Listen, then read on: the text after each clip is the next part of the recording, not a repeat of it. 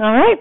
Welcome to our three-day GATK workshop. We're glad to be in Finland. First time for some of us. Yossi's been here for a little while. so you may or may not be acquainted with the Broad Institute. It grew out of the Human Genome Project in the 1990s uh, and then became its own full-fledged nonprofit research institute. We're affiliated with Harvard and MIT, so we have graduate students from those institutions working with us. Um, our leader is Eric Lander, uh, who runs his own research lab and is also involved in a lot of science policy. He was uh, science advisor to President Obama, among other things. Uh, and a lot of our funding comes from the philanthropists Ida, Eli and Edythe Broad, um, who were uh, just big contributors to science, and they have an art museum on the West Coast too. Uh, and the goal of the Broad is to be able to use genomics to transform the study of medicine. Um, we do this through a wide variety of things. There are a lot of computational scientists at the Broad. There are a lot of wet lab scientists. There are people doing disease models in animals. There are people doing infectious disease research in bacteria. And so we, we look at a wide variety of different subjects in order to better understand human disease. And our goal is to share openly. So that applies to our software, like the GATK, that applies to our ideas, uh, that applies to our papers, or our manuscripts. We do a lot of preprints, and we want to make our data as widely available as possible because science shouldn't be done in isolation. so Yossi and Soo Hee and I come to you from the group known as Broad Genomics. Uh, Yossi and I and Lee Lichtenstein lead the methods development uh, within that group, and Soo Hee comes to us from the communications team.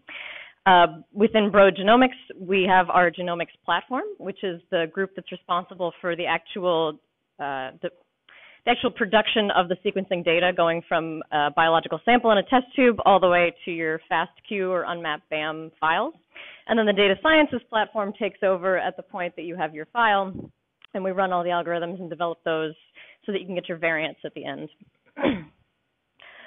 So this is a graph which is admittedly very hard to read, but the goal is just to show you how much data we have at the Broad and how much more data we're producing each year. You'll see a huge increase in these pink bars from when we bought a 10-pack of Illumina's X10 sequencers, which are whole genome sequencers. So we, we make a lot of data at the Broad. And because of that, we need to design algorithms that are robust and production quality that can handle this much data because we serve Broad's needs first. And in order to be able to get the results from this data to the researchers that we work with, we need good algorithms.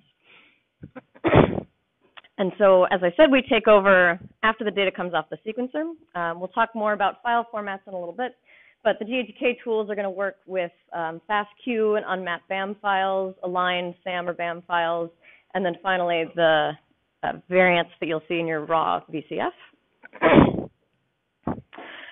And we're very excited to introduce the new GATK4 edition, which is in beta right now. Uh, and the most exciting thing is that it's now been made public and open source so that we can accept contributions from other people. All of our code is open for use. We're not licensing it for money anymore. Um, and that's, again, just trying to motivate this goal of being able to share openly and promote more science.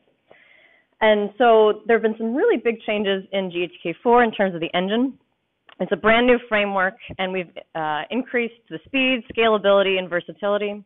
Again, because the Broad has so much data, we're having to work with a lot of it in the cloud um, because we don't store it on our own network file systems anymore. There's just too much. So we have a lot of support in GATK4 with working for files in the Google Cloud, for example, uh, and also using Spark technology, which is a much, much faster way to work with large amounts of read data, for example. We'll talk about some of those tools later. And our engine team did a lot of performance optimizations for the best practices tools that get used a lot, like BQSR, Haplotype Caller, and MuTect2. Um, we'll talk about the responsibilities of those tools in a couple lectures. Um, and we've also expanded our tool set to include a lot more types of variants. So we're uh, introducing a lot more somatic tools for cancer variant calling. Uh, we're introducing copy number tools, and there are structural variation calling tools in the works too. And as part of GATK4, we brought in Picard tools, which Yossi and the team he previously worked on uh, developed for a long time. Um, so there are a lot of metrics collections things on BAM's files, um, and a lot of extra support for um, data quality through those tools. so some of the highlights from the, the new GATK4 engine are um, some increased speed that we get from contributions from our industry partners at Intel. Um, the Spark support that I've mentioned for tools like the copy number tools uh, that we won't look at in the hands-on, but uh, know that they're out there. Um, and then the cloud support and an easier way to traverse different types of data. Um, and if you are ever in a position to write your own walker uh, on top of the GATK framework, you'll find that these new traversal styles are very helpful. So we've published best practices workflows for even more types of variants now. Uh, the germline small variants, SNPs and indels, used to be our sort of flagship product, but recently we've added our best practices for somatic SNPs and indels, which you'll get a chance to work with in the hands-on sessions. Uh, we have somatic copy number variation, which is also part of the hands-on, and we're introducing an early prototype of germline copy number variation. Our structural variation tools are still in, de in development, and soon online you should be seeing best practices for the new PathSeq pipeline, which is pathogen detection, like finding bacterial reads from human sequencing data. As part of our big rewrite of the GATK, in parallel, there was also a rewrite of the pipelining language. So you may be familiar with GATK3's Queue tool for pipelining commands together. Um, but another of the engineering teams at the Broad has been working very hard on the workflow description language, which so he'll get into a little bit later, um, which is basically uh, an easier way for you to chain tools together that has a lot of benefits beyond just putting all the commands together in a bash script. And again, because we like to make everything public and share with the world, you'll find a lot of our resources online through the GATK forum and through the GATK website of our best practices, tool documentation, blog, and of course the forum where wonderful people like Soo Hee and Sheila answer your questions.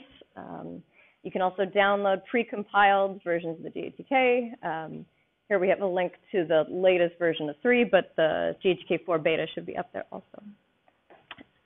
So the itinerary for today, um, this first day here we're going to have all lectures. Uh, in the morning we're going to talk about pre-processing, which is how to get from the reads that come off the sequencer to your first aligned BAM. In the afternoon we'll talk about germline variant discovery and also somatic uh, SNP and indel calling. Uh, our first day of the tutorials, in the morning we're going to do basics of uh, data sequence analysis and then calling germline SNPs and indels.